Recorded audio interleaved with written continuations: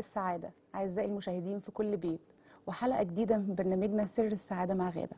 بيقولوا في الأمثال العند يولد الكفر أعوذ بالله من الكفر. النهاردة بقى معانا موضوع عن العند بين الزوجين. عاوزين نحلل الظاهرة دي ونتكلم عنها. إيه، معانا الأستاذة نسرين كامل استشاري تربوي.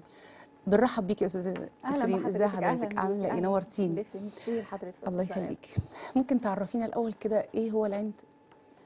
العند هو إن الإنسان يكون متمسك دايما بمبدأ من مبادئه سواء عنده مبدأ أو سواء عنده فكرة معينة أو رأي معين أو عقيدة معينة في دماغه هو يبقى متمسك بيها سواء كانت صح أو سواء كانت خطأ.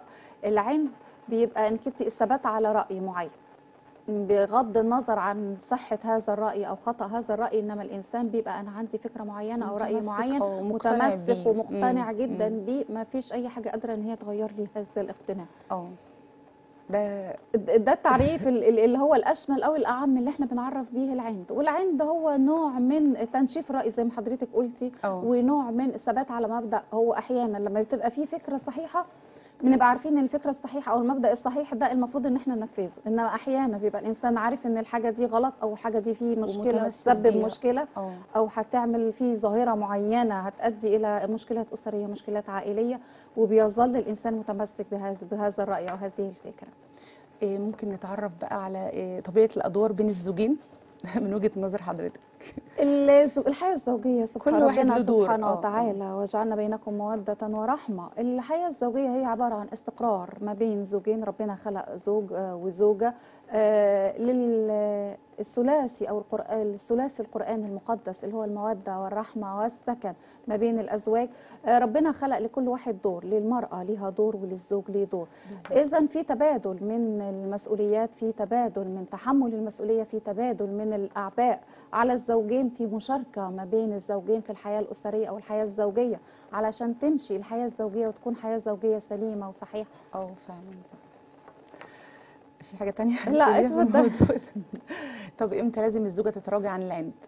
العند إحنا قلنا العند هو الثبات على فكرة معينة أحيانا بتكون عند الزوجة فكرة يعني إمتى عند الزوج. إمتى تعطي شوية؟ يعني تعديها. إحنا بنحتاج إن عايزين قلنا الحياة الزوجية هي عبارة عن مركب. المركب إحنا محتاجين المركب تمشي. تمشي ما آه ينفعش إن أنا أحكم رأيي وإن أنا اعند في بعض المشكلات. أحيانا تبقى في مشكلات أسرية في طب مشكلات. حتى لو لو لو الزوج غلط أصلا يعني اراءه غلط أو أو متمسك بحاجة غلط طب هي هتعدي إزاي؟ حنا لو في موقف معين الموقف ده طالما ما فيش منه ايذاء طالما هو موقف. ممكن زوج لا أنا بحب لون معين في بيتي. أنا آه. بحب إن ولادي يدخلوا ليمارسوا رياضة معينة. أنا حابب إن يكون في نوع آه، حياة مشكلات بسيطة أو آه، حاجة ما بتؤثرش على حدود الأسرة أو على هدم الأسرة.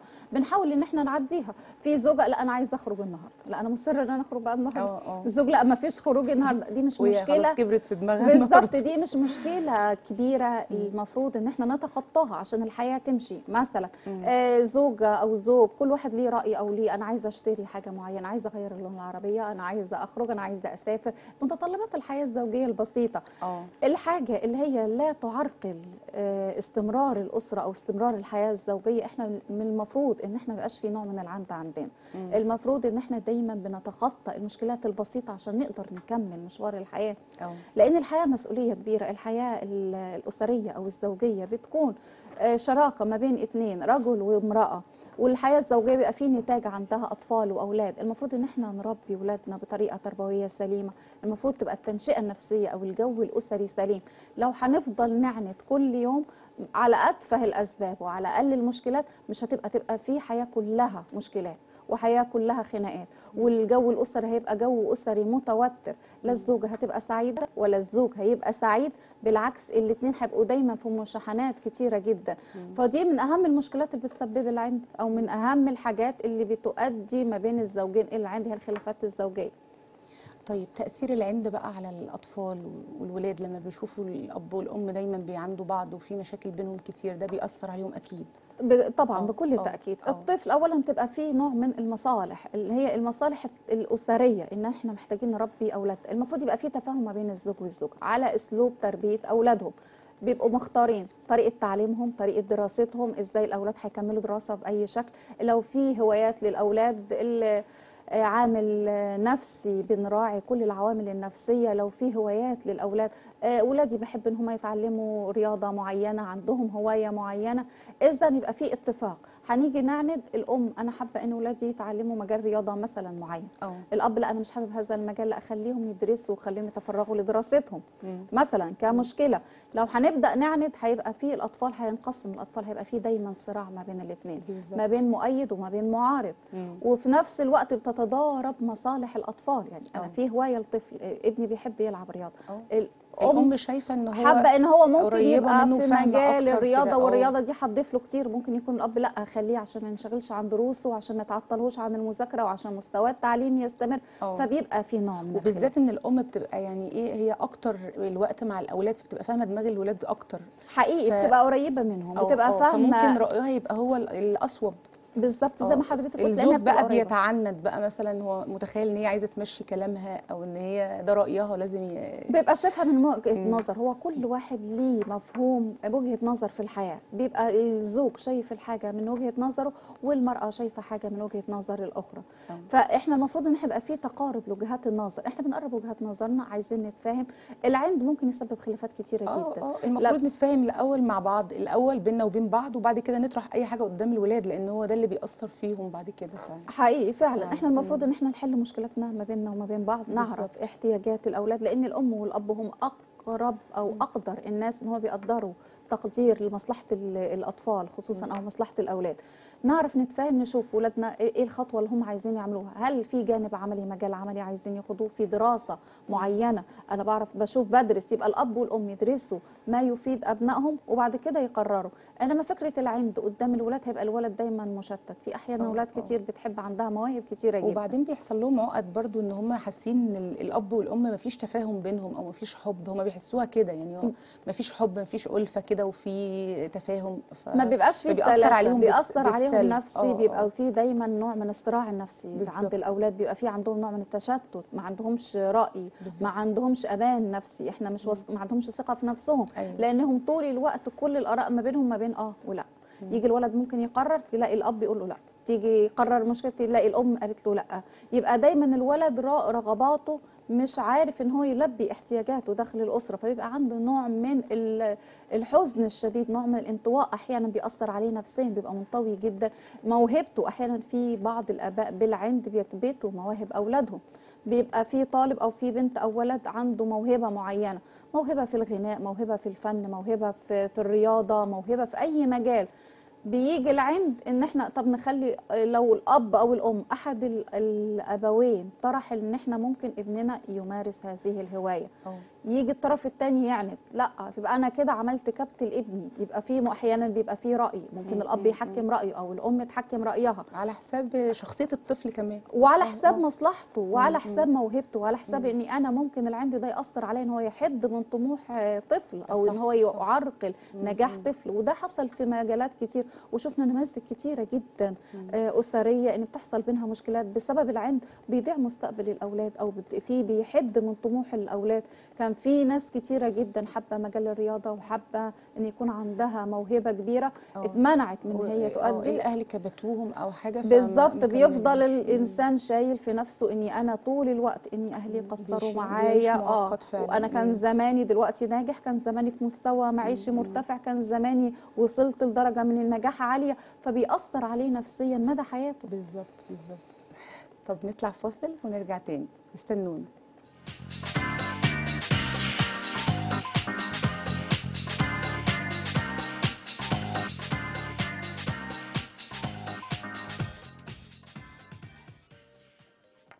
ورجعنا لكم بعد الفاصل. أستاذة قولي لي يا أستاذة نسرين. إيه دلوقتي عايزين نصيحة بقى كويسة كده للأزواج المقبلين على على الزواج يعني. إزاي يتجنبوا موضوع العند والكلام ده كله؟ إحنا بننصح كل زوجين مقبلين على الزواج إن الحياة الزوجية حياة مشاركة والحياة الزوجية إحنا داخلين الحياة الزوجية علشان نكون أسرة. ونتمنى إن زي ما بنقول سر السعادة مع غادة إن الحياة الزوجية تكون حياة زوجية سعيدة. سعيدة آه. من أهم المشكلات البسيطة اللي هي تؤدي إلى تنغيص الحياة الزوجية أو تؤدي إلى تعكير صفو الحياة الزوجية هي العند مم. بنصيحة لكل زوجين مقبلين على الزواج المفروض إن يبقى في نوع من التفاهم. ويبقى في نوع من احترام الرأي يبقى في نوع من تقبل وجهة نظر الشريك أو الرأي الآخر يبقى عندنا نوع من النقاش بموضوعية يبقى عندنا نوع من التفاهم يبقى في حب في العلاقات الزوجية ياخدوا كورسات بقى المفروض يعني ياخدوا كورس- كورسات هو دلوقتي بقى إحنا بقت في الدورات التدريبية الكتير بجد بنعملها والله وأنا المفروض الشباب كلايف الصغيرين دول إحنا بنعمل آه. دورات تدريبية للمقبلين ندربهم. على آه، الزواج آه. بنبقى بنحاول إن إحنا نعد الأزواج للحياة الزوجية نديهم بعض النصايح إزاي يتخطوا الخلافات الزوجية ما بينهم. إزاي تبقى فيه ما بقاش فيه مشكلات العند الموجودة باستمرار ما بين الزوجين؟ إزاي تكون الحياة حياة بسيطة؟ كلمة إن أنا أعند إنك أنت بتعند إنك أنت ممكن يبقى في موقف بسيط جدا الموقف البسيط اللي أنت عايز بدل ما هو ممكن يعدي بسهولة أو بتفاهم بسيط بتغاضي بسيط ما سواء من جانب الزوج أو جانب الزوجة. ده بيؤدي إن إحنا نحل الخلافات بمنتهى البساطة. لما بيبقى العند بقول لك إحنا إحنا صعيد هو يقول لك لا ده نشف دماغه ده دماغه صعيدي آه افيد آه. مش قادر دماغه يتفاهم صعيدي دي آه. دماغه صعيدي مش ما فيش تفاهم خصوصا الراجل الصعيدي فاذا أحيانا كتيرة بتحصل مشكلات والله كتيرة. هو اي راجل مش صعيدي بس هو بيحب ينشف دماغه بأي شكل. لا هو إحنا مش حابين إن هو يبدأ من مبدأ خالف تعرف. يعني مش مش ده المبدأ اللي موجود عندنا في الحياة الزوجية. إحنا محتاجين الحياة الزوجية تمشي بشكل سهل. الزوجة تتنازل شوية الزوج يتنازل شوية. مفيش مشكلة طالما إن الكلام ده أو التنازل مش هيأثر على على شيء آه، جوهري في الأسرة أو على مشكلة جوهرية أو إحنا مش هنعمل حاجة صعبة تؤدي لا إحنا نتخطى عن كل الهيافات البسيطة أو كل الخلافات البسيطة اللي هي تؤدي ما بين الزوجين لنوع من التفاهم علشان يقدروا يعيشوا حياة سعيدة. أيوه.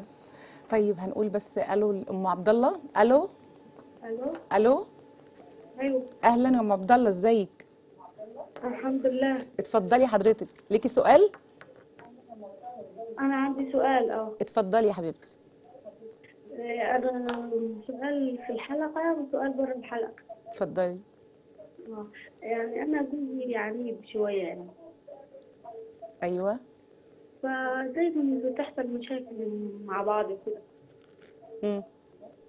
فدايما اختلافات بنبقى هو أنا وهو يعني وكده فلازم مشاكل وكده. ومشاكل برضه مع أهله يعني. آه تمام. بتحصل مشاكل بالنسبة لأهلي يعني متعندين وأنا متعندة مع مصر تيجي مشاكل يعني بنصادف مشاكل كتير يعني. فأنا عايزة الحياة تمشي يعني. انت عايشة مع أهله أصلا؟ آه. آه لازم يبقى في مشاكل. اتفضلي حضرتك يا أستاذة نسرين تنصحيها بقى. هقول لحضرتك آه، آه، الحياة الزوجية لو فيها فيها مشكلات وخصوصا لما بيبقى زي ما هي حضرتها قالت إن فيها موجودة في بيت أو في أسرة أو في في عائلة أو في منزل. عائلي. آه، طبعا مش هي تبقى مش بس هي ما بقاش مشاكل أساسي. قدامها آه، آه. المشكلة بس اللي هي زوجها لأ ده هي بتبقى مشكلة معاها ومشكلة مع جوزها ومشكلة مع ومع جوزها أخت جوزها آه. والعائلة الكبيرة اللي كل واحد ليه رأي وكل واحد ليه وجهة نظر وكل واحد بيبقى ال ال أنا حاسة بيها ومشكلتها إن دايما بيبقى في آراء كتيرة جدا عليها أو انتقادات كتيرة جدا خصوصا لما تبقى الزوجة موجودة في بيت عيلة آه آه المفروض اللي هي كل إنسان أو كل زوجة تتميز بالحكمة يبقى عندها نوع من الحكمة أو الفطنة اللي هي تحافظ بيها على بيتها وعلى جوزها. آه اولا بتحب إن هي تحافظ على بيتها إن هي دايما تحاول ترضي جوزها. إحنا بنرضيه بكلمة طيبة. مم. على فكرة قلت الكلمة الطيبة الصدقة هي مش محتاجة است... آه، آه، يعني آه. المجهود مش مجهود كبير إن أنا أحافظ على بيتي أو على حياتي. مم. إن أنا أرضي الأطراف الكبيرة بيبقى في نوع من الذكاء أو نوع من السلاسة. أنا ممكن أرضي كل الأطراف بكلمة طيبة. أقدر أتصرف بتصرفي يبقى لي خصوصيتي في بيتي والتعامل بتاعي في بيتي. هتيجي مثلا الحامه انت بتربي الولاد إزاي؟ الولاد خرجوا الولاد بيبقى في نوع من التدخل في شؤون الزوجة. الزوجة بتزعل ما بتحبش الكلام ده. آه آه أحياناً بيتحكموا كتيرة، يعني آه. تحكم فيها أو كده. حقيقي. آه، احيان آه. كتيرة بيبقى الزوج يا إما محرج من الأم أو محرج من الأهل أو هو مش حابب إن هو يظهر إني أنا زوجتي هي اللي بتمشي كلامها، عليا آه، وأنا آه. ماليش رأي وأنا ماليش كلمة. فبيبدأ يبقى في نوع من العند. لا أنت قلتي كذا علشان يفضل محتفظ بصورته كرجل محتفظ إن هو ليه الكلمة وهو عايز يمشي رأي فبيبدأ إن هو يعند مع زوجه إحنا دلوقتي بنقول للزوجة بنقولها حاولي تتعاملي بنوع من السلاسة يبقى عندك نوع من الاتزان شوية يبقى عندك نوع من السياسة. إن أنا هقدر ان أنا أوفق ما بين كل الأطراف إن أنا أقدر أخلي بيتي أو أسرتي أمشيها بال- بالقواعد اللي أنا عايزاها. فتيجي حماتك الولاد آه حاضر هنعمل آه، يبقى في كلمة طيبة ونفذي اللي انت عايزاه. بالظبط. تمام. آه. ربي ولادك بالطريقة اللي انت عايزاها. الولاد أكلوا وشربوا وخرجوا وراحوا الكلام اللي كل الأسر عارفاه ده أقدر امشي أمشيه بكلمة حاضر تمام okay ما فيش مشكلة. ده أنا عملت كذا أفهم الطرف الثاني مش عايزين جو من المشاحنات ابدا مش عايزين يبقى فيه دايما نوع من العنف أو نوع من إن أنا لأ أنا مش متقبلة الرأي. المفروض ما على الزوجة إن هي تتصرف بنوع من الذكاء إن هي تبقى دايما أنا متقبلة الآراء الآخر ما فيش مشكلة تتقبل آه. النصيحة. ما. فيش م... النصيحة لو كانت مجدية تتقبلها. الإنسان هيستفيد من النصيحة إن كانت مجدية.